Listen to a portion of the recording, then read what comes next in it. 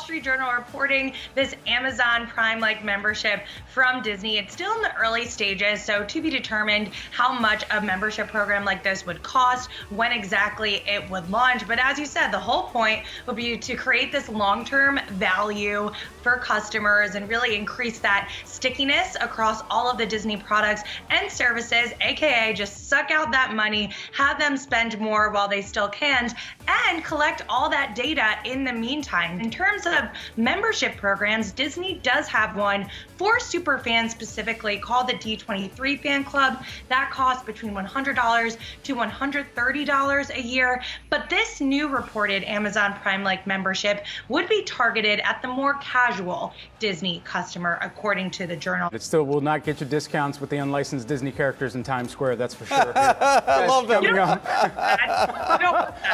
know,